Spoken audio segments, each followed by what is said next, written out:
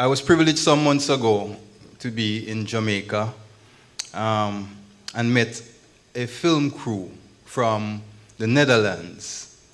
They were there to film a documentary uh, titled The Legacy of Slavery. Now, as we know, the legacy of slavery is, you know, racism, injustice, inequality, and all that goes with it. So this was their focus, and right up my alley. One of the journalists uh, among the team, Nina Jurna, yes, is her name, she showed me a snippet of a work that she did, a research she did about some of the freedom fighters, the heroes and sheroes that helped to emancipate and I, to liberate and I, to free and I from the shackles of slavery. It was, I pride myself as being a history student, you know, especially when it comes to slavery, you know, and our struggle the Caribbean heroes and so forth. But some of the information that she shared was the first for me. It moved me to the point of asking her if I could use her research as part of this event. Now you'll be privileged to see some of her work as we continue the evening. Yes, Ras Jabalani. Give thanks during the Black Lives Matter protests in 2020, I um, I saw all these uh, statues of uh, the European oppressors, people like Columbus, pulled down or destroyed, thrown in the water, and um, it was an um, an example of uh, uh get rid of what they symbolize um, enslavement, uh, colonialism. And I remember that during my travels in the Caribbean for my work as a journalist, I'm always very happy when I see um, black statues, statues of black freedom fighters. And I started to um, write that down on Twitter and I started uh, a thread and I wrote, when I traveled for my work to the Caribbean, I'm always happy to see many interesting and beautiful statues like the great Toussaint Louverture in Haiti. And um, I included a picture of his statue. And um, you see Toussaint Louverture with a very uh, proud face looking over the horizon. Um, he was one of the, well, maybe the most important freedom fighter for Haiti and later for all the Caribbean. Uh, Haiti uh, fought, the enslaved people fought against, um, against the army of Napoleon and they won. And that is the start of the independence of uh, Haiti. And then uh, I saw, I received a lot of likes, more than 200, more than um, 85 retweets. Um, so I started to to to put some more of our black leaders, and the second one was Zumbi. Zumbi is the big uh, freedom fighter in Brazil, where I live.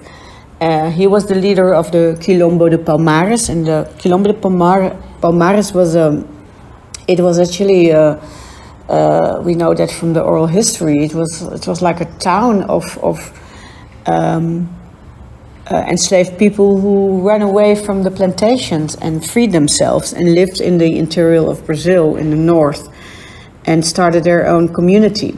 And uh, we know that Palmares existed for more than 100 years. And uh, Zumbi was uh, one of the last, the last leader. Um, he is very important for the history of the black history of, of Brazil. And and there's a beautiful statue in uh, Salvador, which is also a black city of Brazil. And uh, you see him uh, with his um, very powerful face on the statue um, with a spear and um, like a real fighter. And I include his statue in the thread. And again, this went uh, viral. And so I started uh, to put all the important leaders and the statues of them just to. Um, to focus on the statue, the good statues and the powerful statues instead of the statues of um, the oppressors. I also included uh, my own uncle from Suriname, where my roots are uh, from my mother's side, uh, Louis Doedel, who was the first um, uh, union leader in Suriname. Uh, this was during during the colonial uh, repression of the the Dutch, and he was um, put in a mental institution for that because he strived for he struggled for freedom, and he was put 43 years in this institution, but actually was a jail. Um, so uh, since uh, 2013, there's a there's a statue in Suriname um, for him um, to remember him and his uh, his uh, his work. He organized uh, demonstrations against uh, the Dutch colonists. And then I put some very very important females, female freedom fighters in this threads in the, on Twitter, and um, I was so happy to find uh, the very beautiful statue of Solitude, who was a, a, a, woman in Guadeloupe, an African woman, and she was uh, born on uh, that's the, the oral history we know. She was born in, in Guadeloupe after her mother, uh, who uh, was put on the boat from West Africa to uh, the Caribbean, was raped on the on the ship. Um, um, probably by uh, a captain or, or some of the crew, white crew members of this uh, ship, because uh, Solitude, according to the oral history, is um, was uh, uh, light skin, had also green eyes, um, and therefore her position they they put her uh, in the household, not on the on the field uh, to work. So she was close to the uh, uh slave owner's family, but um, um, she decided to run away from the plantation while she was became pregnant because she didn't want her baby also became enslaved, because of course we know that uh, when uh, a woman um, gave birth also the, the child would be become a slave. So she ran away from the plantation and she um, participated in the in the big army of freedom fighters, uh, African freedom fighters in Guadeloupe, um, against the French, um, who during Napoleon time re-installed uh, the, um, uh, the slavery after the, uh, as I told you, after the freedom fight in Haiti, it was uh, from Louverture, uh, they quit with, uh, with slavery in all the French colonies, but during uh, Napoleon, it was um, they started over again with it. So um, Solitude was a part of this uh, army of freedom fighters. Um, at the end, she was caught by the French. Um, she was at that time maybe six, seven months pregnant, and um, it was a horrible thing they did to her. They she had to. Uh, they waited uh, when she gave birth to her baby, and then they killed her um, on a on a horrible way. Um, she was tortured and then killed, and and the baby she gave birth to was enslaved, and that was of course uh, very painful because she didn't want that. That's the way. That's why she ran away from. Uh, the plantation. She wanted the freedom for her baby and that's very important for us, for me as a female also. Also, I put in uh, on Twitter the very, very important story of uh, Lohkay. And Lohkay was, um, um, she was an, um, an African woman who was uh, uh born in, in the Caribbean island of St. Martin who, which is still a part of the Dutch kingdom, St. Martin. St. Martin is an island, and you have two parts. You have the French part, Saint Martin, and you have the Dutch part, Saint Martin. Although they speak English, it's still part of the Dutch kingdom. And at that time, um, uh, Lohkay, she was. Um, she she wanted to uh, she looked for her freedom so she ran away from the plantation and it's an island. It's not so easy to to uh, to escape and to to stay in freedom on an island. So um, they caught her, and as a punishment uh, for the escaping, for escaping the plantation, her one of her breasts was cut off, and that's why she became, uh, she she got this name, One Tete Lohkay. One Tete is mean, means one breast, and Lohkay is her name. So she uh, in her she had one breast. Um, of course, uh, this was a, a very cru cruel thing the slave masters did. Um, but she was cured with medicine plants and and and herbs by uh, other female uh, females on the plantation, African uh, women. So she was uh, recovered. Uh, she recovered, and then she decided to escape again because she really was looking for freedom. So she escaped again, and um, this time she succeeded. She she she went to the hills of uh, St. Martin. She got help from other escaped slaves, uh, enslaved people, and um, and then she she became a hero because she started to help others also um, to escape from the plantations. We know also uh, a story of. Uh, three females, Mary, Agnes, and Matilda, and they are known uh, as the queens of the Virgin Islands who uh, led a revolt in 1887 known as the fire burn. They started, uh, they started to, um, uh, with their lamps, they go, they passed houses and, and plantations and it was like uh, the start of a, of a very huge uh, revolt. And they started it, and people participate in it. And uh, these three women, uh, the queens of Virgin Islands, as they are known, um, they have a very nice statue in uh, in the Virgin Islands, and you see them with their dresses. Um, and you see also that uh, if I see them in these dresses, I see that they were like uh, working also on the plantations as, as maids or enslaved in a household and started from inside this revolt. And a lot of people, they start, they, they participate in this uh, very important revolt in, um, in uh, Virgin Islands. Um, we have, um, of course, uh, that's what very nice was when I, I, I started this um, investigation, this research in all this statue. Uh, of course, there's a lot of uh, male statues, like, um, yeah, we have um, also Dessalines, the, the very, very important freedom fighter um, in Haiti, who um, started this fight against Napoleon and, and also um, defeated the Napoleon army and started the, the independence in Haiti. But there is also this very important uh, female fighter from your country, from um, Jamaica.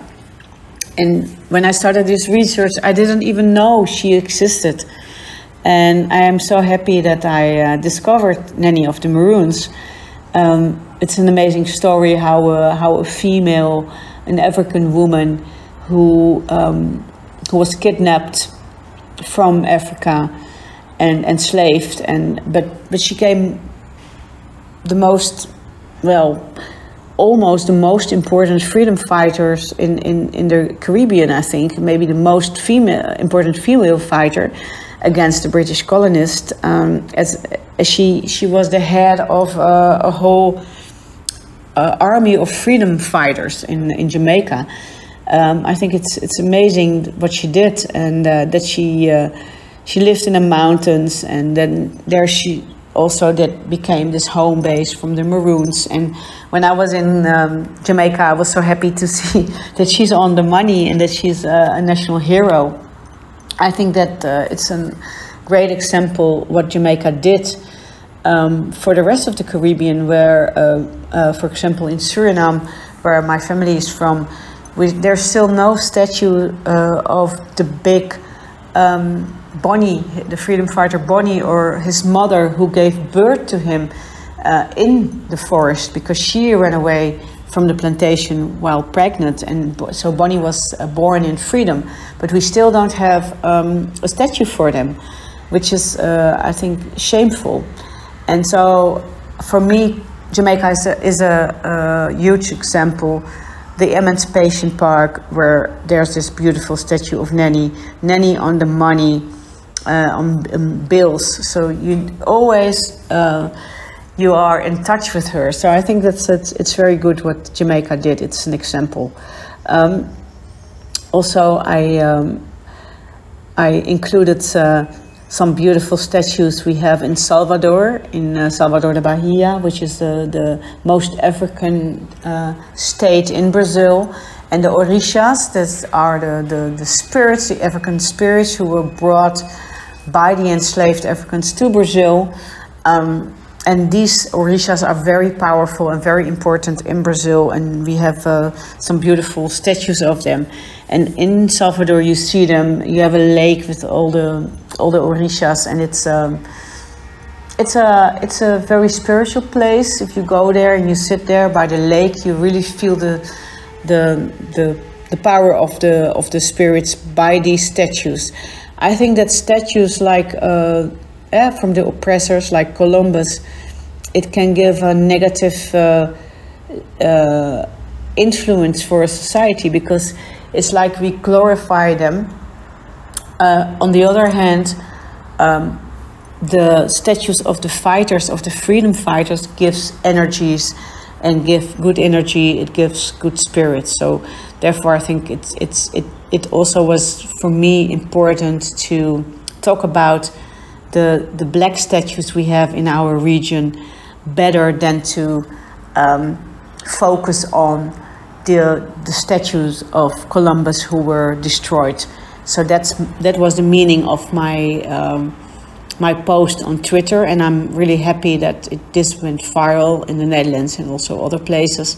And uh, after that, I wrote an article about it, and um, I also interviewed people from the different countries what the statues mean for them. I mean, if you pass by, if you see them, how um, powerful is better than to focus on the statues of the colon colonists we, we still have also, unfortunately, in the Caribbean. Um, uh, like I saw in, in Trinidad and Tobago, uh, in the middle of the of uh, Port of Spain, you have the statue of Columbus. At this moment, uh, it's destroyed. They cut off his hands and, uh, and, and they destroyed it, but they keep it there. And uh, I spoke to one of the activists, and he said to me, Well, we, we wanted to keep it destroyed, half destroyed, um, in this way to see that this was not a hero, but he was a criminal, and this, what, this is what we did to him. And so, in the center of Port of Spain, you have now this uh, destroyed. Uh, uh, statue of Columbus. They cut off his hands and his feet and put uh, paint on him. Um, so that's the example of the feelings to how people gave feeling of their hate for the for this uh, uh criminal of uh, Columbus. Um, but my focus is more on the the great heroes we have in the Caribbean and their statues. And also, I think it's very important that we discover more and more of the stories. Therefore, I was really um, happy that you in Jamaica have uh, have a queen, have a have a queen of the Maroons, have uh, um, have someone who who was a leader of a, of a whole group of Maroons. Um, here she is, your own national hero, and I think it's an example to that you also named her and gave her the title of national heroes. Um, I'm, I'm a little bit sad that in Suriname, where my roots are, where my family is from, that there's still no statue for uh, Bonnie, who is a national hero, who was also a Maroon.